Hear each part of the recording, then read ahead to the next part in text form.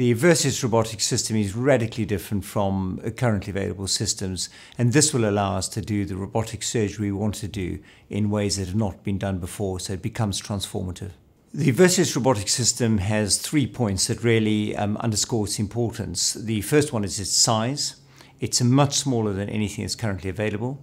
The advantage of this, it makes it portable. It also means that we can use it in any theatre without having to uh, make that a specific robotic theatre. The um, modularity and the ability to place the bases wherever we want to place them allows us to have freedom of port placement. And that in itself um, gives us a greater versatility in terms of doing minimal access surgery with the robot. The most important, probably, of the three points is that despite all these advantages, we keep it cost effective.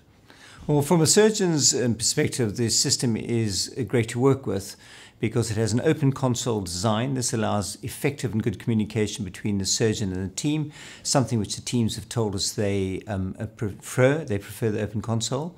Um, two, we've got 3D visualization, which really helps with one's um, surgery.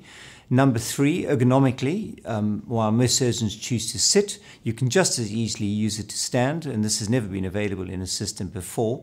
And finally, we've also got 5.8 millimeter fully wristed instruments, allowing us to use through small um, ports with all the advantages of small ports um, and um, all the advantages of the articulated instruments. So, from the surgical team's perspective, it's an excellent system.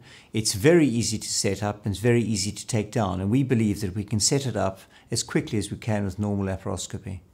One of the things you'll notice, in addition to many of the other things that's different in our approach, is our approach to data acquisition.